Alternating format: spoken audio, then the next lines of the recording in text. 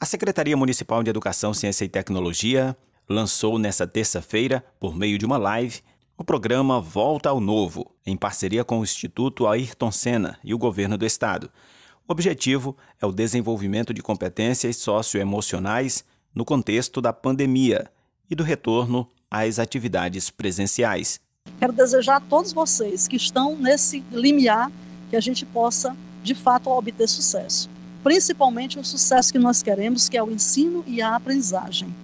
Atingir as nossas metas, nos ajuda a nos relacionar interpessoalmente com as pessoas, isso é importante, a ter tomada de decisão, nos coloca de fato numa linha importante para poder trabalhar. Eu comigo, eu com o outro, mas eu com o mundo. E esse de volta ao novo nos permite poder de fato levar a todos os funcionários, a todos os professores, coordenadores, a toda a SEMECT de fato essa é, como eu posso lidar com isso, o que eu posso fazer para melhorar tanto a minha saúde física, a minha saúde mental, como também as minhas relações sociais.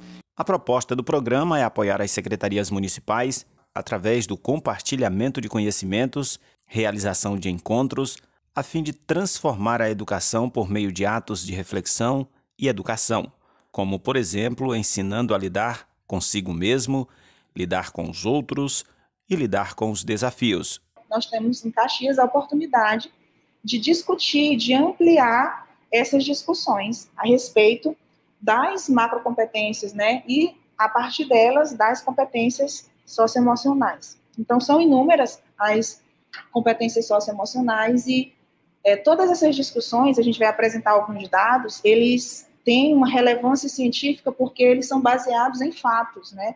eles existem uma pesquisa que ele ancora toda essa discussão. O programa, além da formação de educadores, tem a proposta de ser levado às escolas e, por isso, busca, junto aos educadores, que eles estejam abertos às mudanças em suas práticas e dispostos a aprendizados novos. Mas que é, elas se tornem práticas né, na sala de aula, nas escolas. E aqui é, nós já fomos apresentados inicialmente, né, quem será, serão os responsáveis, né, no qual eu sou uma das multiplicadoras aqui do município, e faremos esses momentos de formação.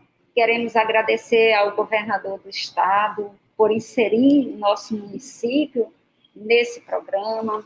Queremos agradecer o Instituto Ayrton Senna por tantas iniciativas e por esta iniciativa é que nós apresentamos agora.